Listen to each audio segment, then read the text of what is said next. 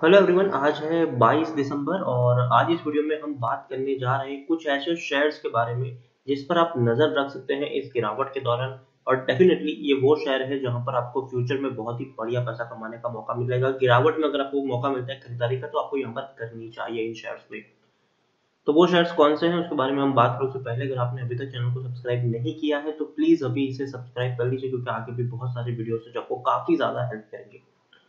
उसके साथ साथ अगर आपने अभी तक मेरे टेलीग्राम चैनल को सब्सक्राइब ना किया हो तो उसको भी सब्सक्राइब करना मत भूलिएगा। लिंक जो है वो आपको डिस्क्रिप्शन में मिल जाएगा।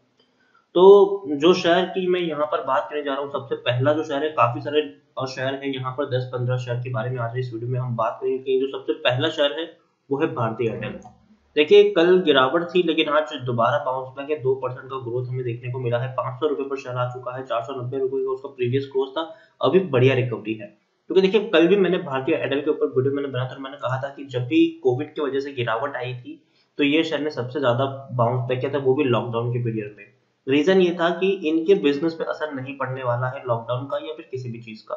इनका बिज़नेस चलता रहेगा, लोगों को इंटरनेट की ज़रूरत पड़ेगी तो वो लोग यूज़ करेंगे, लोगों को और एक दूसरे से फ़ोन पे बात करने की ज़रूरत पड़ेगी। तो भैया, वो इनका इस्तेमाल करने ही वाला है। इनका बिज़नेस कोई ज़्यादा अफेक्ट नहीं होने वाला है, बल्कि इनके प्रॉफिट्स बढ़ने वाले हैं। तो मैं यही कहूँगा और इनके जो फंडामेंटल्स है, वो भी धीरे धीरे क्लियर हो रहे हैं। अब तक कंपनी लॉस में थी, लेकिन पिछले क्वार्टर से कंपनी प्रॉफिट में आ चुकी है। तो कहीं ना कहीं उम्मीद की जा रही है कि यहाँ से और बड़ी तेज़ी हमें देखने को मिलेगी और इनके जो आरपूस है, वो भी इंक्रीज हो रहे हैं।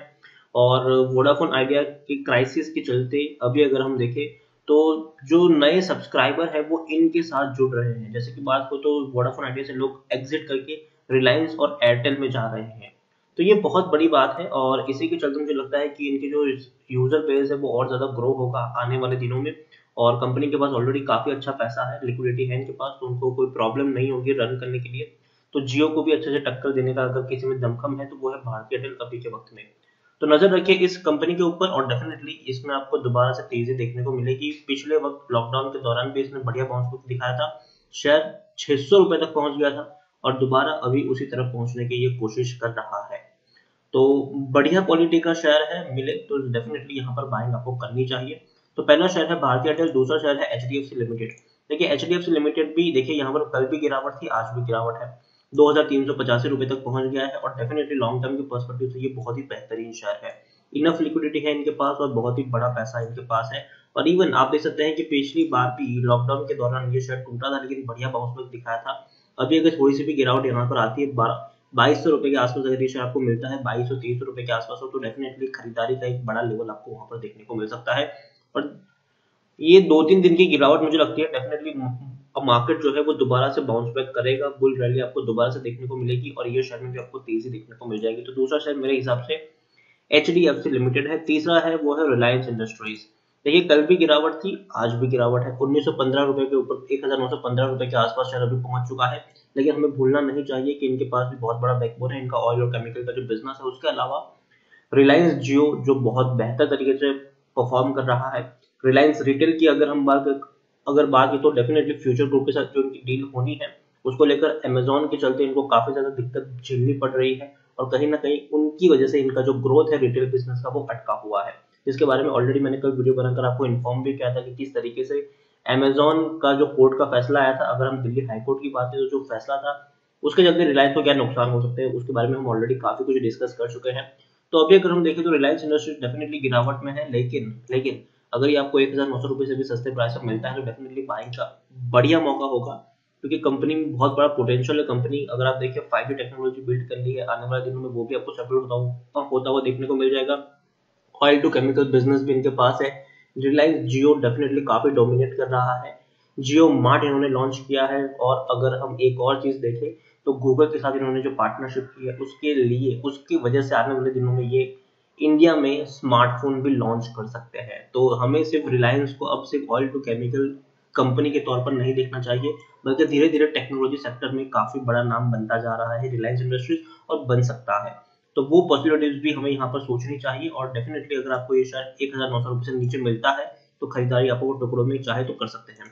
चौथा शेयर है आईसीआईसीआई बैंक देखिए, इसमें भी बहुत बड़ी गिरावट आई थी, लेकिन हमेशा ये वो बैंक है जिसने बड़ा रिकवर दिखाया बाउंस बैक दिखाया प्री कोविड लेवल तक पहुँच चुका था ये शेयर अभी थोड़ी सी गिरावट ज़रूर बनी है, लेकिन अगर ये शेयर भी आपको अगर आपको चार सौ अस्सी रुपए से नीचे मिलता है तो यहाँ पर भी मुझे लगता है कि बाइंग की अपॉर्चुनिटीज़ यहाँ पर हो सकती है। अगर आप लॉन्ग टर्म के निवेशक हो तो बाइंग अपॉर्चुनिटीज़ अभी भी यहाँ पर है, लेकिन हाँ बैंकिंग शेयर में अगर मैं बोलूँगा, अभी भी प्रेशर है और आने वाले दिन में थोड़ा सा प्रेशर बन सकता है तो शायद ये जो गिरावट है, वो थोड़ी और गहरा सकती है।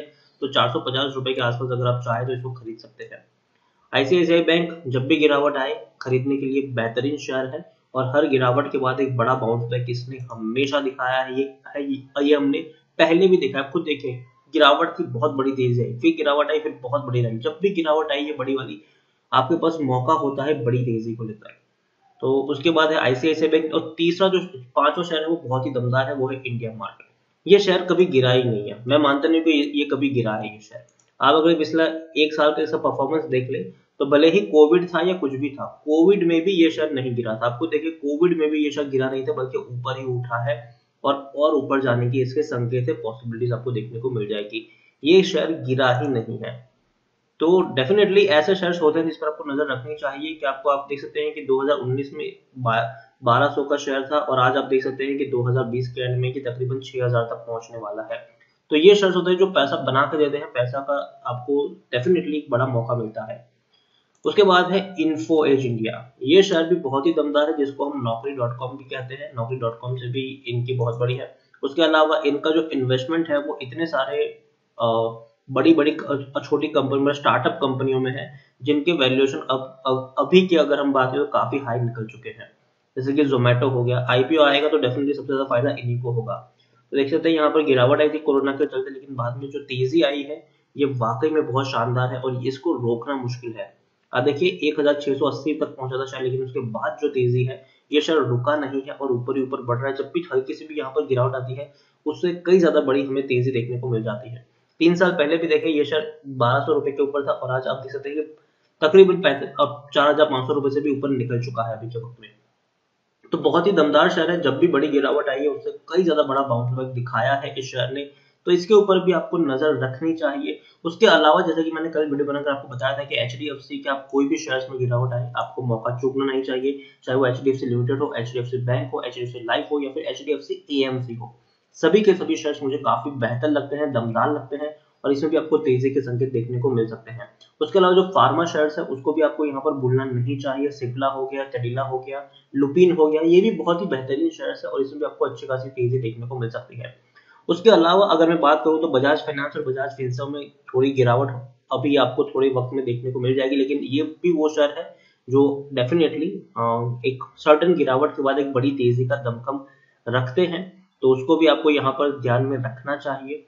उसके अलावा और भी कई शेयर्स है, लेकिन उसके बारे में मैं आपको थोड़े वक्त में डे बाय डे वीडियो बनाकर इन्फॉर्म करता रहूँगा। बहुत सारे शेयर्स हैं जो गिरावट में आपको बढ़िया रिटर्न देने का दमखम रखते हैं और हर बार मैं आपको उसके बारे में इन्फॉर्म भी करूँगा। चाहे अभी अगर हम देखें तो आईटी और फार्मा सेक्टर और अगर एफ़ सेक्टर की बात करें तो वो काफ़ी ट्रेंड में भी रहेगा। अगर कोई भी मंदी आती है तो क्योंकि डेफिनेटली मंदी में एफ़ जो सेक्टर होता है उसकी ज़रूरत पड़ती ही है लोगों को लोगों को खाना चाहिए, लोगों को अपने जीवन और रोज़मर्रा की चीज़ें खरीदनी है तो उस, उसको तो वो लोग इस्तेमाल करेंगे ही, चाहे हम एच की बात करें या फिर आईटीसी की बात करें या फिर ब्रिटानिया की बात, और यहाँ पर हम बात करें। तो सारे के सारे बेहतरीन शेयर्स है यहाँ पर, और अगेन मैं कह दूँ, ये वो वक्त है जहाँ पर आप फंडामेंटल शेयर्स पर ध्यान दें, और जो मार्केट लीडर है, आप उनके ऊपर ध्यान दें, ना कि ऐसे शेयर्स जो हाईली रिस्की है और पैनी स्टॉक है।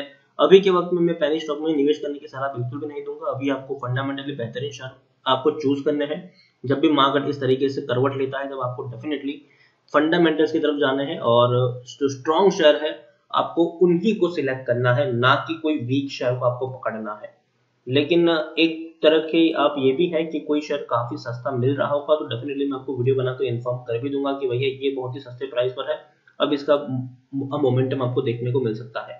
तो वो शेयर्स भी आप नज़र में रख सकते हैं लेकिन आज के जो शेयर्स है डेफिनेटली मैं मानता हूँ कि भारतीय एयरटेल है एचडीएफसी के जितने भी शेयर्स हैं वो बेहतरीन परफॉर्मेंस दिखा सकते हैं। गिरावट के बाद रिलायंस इंडस्ट्रीज़ एवरग्रीन शेयर है ये मंदी आई है लेकिन इनके पास इतने लीवर्स है ना कि भैया ये इसको उठा कर रहेंगे तो, तो कोई रोक नहीं सकता है इन सारी चीज़ों से। बैंकिंग शेयर में अगर हम बात करें तो भैया आईसीआईसी और, और एक्सिस बैंक है उस पर आप नज़र रख सकते हो। और जो छोटे बैंकिंग शेयर है जैसे कि फेडरल बैंक हो गया आईडीएफसी फ़र्स्ट बैंक हो गया इवन यस बैंक भी हो गया वो भी सस्ते वैल्यूएशन के ऊपर अगर आपको मिलते हैं तो वहाँ पर भी आप नज़र रख सकते हो यहाँ। तो काफ़ी बेहतर शेयर है। आई इंडिया मार्ट तो भैया एवरग्रीन है और इन्फो एज डेफिनेटली बहुत ही दमदार शेयर है तो उनको तो काउंट करना ही पड़ेगा। तो नज़र रखें इन शेयर्स के ऊपर और अभी के वक्त में जो फंडामेंटली स्ट्रांग है, उनके ऊपर नज़र रखेंगे तो ज़्यादा फ़ायदा होगा। तो वीडियो को यहीं पे एंड करूँगा। पसंद आए तो लाइक और शेयर कर। चैनल पर पहली बार आए तो प्लीज़ सब्सक्राइब करें और ऐसे कौन से शेयर से गिरावट में जो आपको लगता है कि भैया बढ़िया परफॉर्मेंस दिखा सकते हैं तो वो भी आप मुझे कमेंट में लिखकर बता सकते हैं। Thank you